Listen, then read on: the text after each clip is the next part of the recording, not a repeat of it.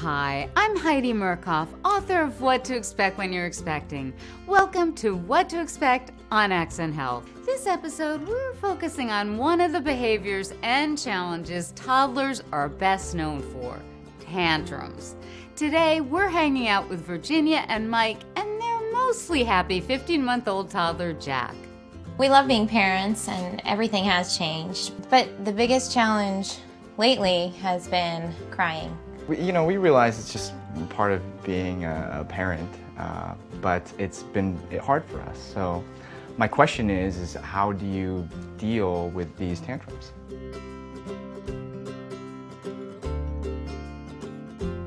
Let's face it, your toddler is an adorable bundle of contradictions and a master of mixed feelings. But it's never easy standing by helplessly as your cheerful toddler cherub suddenly transforms into a mound of rage and tears. Unfortunately, there's no way to prevent all tantrums. If you've got a toddler, you've got tantrums. But it is possible to head off some tantrums before they come to a head by following these common sense tips. First, keep a regular schedule. Knowing what to expect can help a toddler feel more comfortable and less tantrum prone.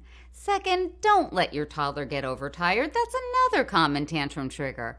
And don't let your toddler run on empty. Hunger can make anyone cranky, but it can definitely fuel a toddler tantrum. Offer that nutritious snack before there's a meltdown on aisle 7. There's no potion that magically makes tantrums disappear once they start, but there are a few strategies that can minimize minor meltdowns before they escalate into full fledged fits. Stay calm. Nothing fuels a toddler's fire like a fired up parent. Speak softly. Trying to scream over the screaming is only going to up the screaming ante.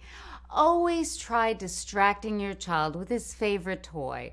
Toddlers have short attention spans, and sometimes it's easy to divert them.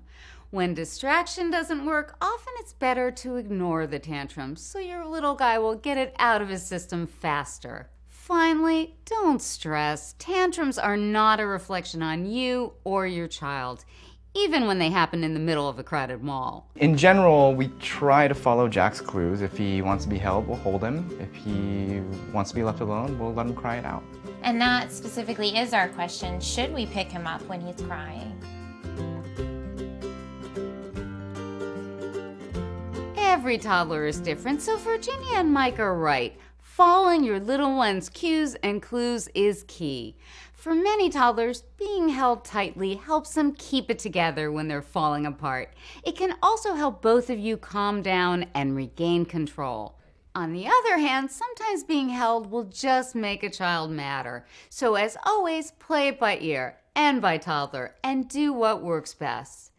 Most of all, remember that crying and tantrums are a normal part of development. In fact, they're in a toddler's job description, a part of the job that most toddlers do extremely well. Tantrums are a toddler's way of carving out his own identity, gaining some measure of control, and releasing the frustration that comes with being short, but also short on skills, especially language skills. For a toddler, tantrums say it all, and everything that words can't communicate, at least not yet.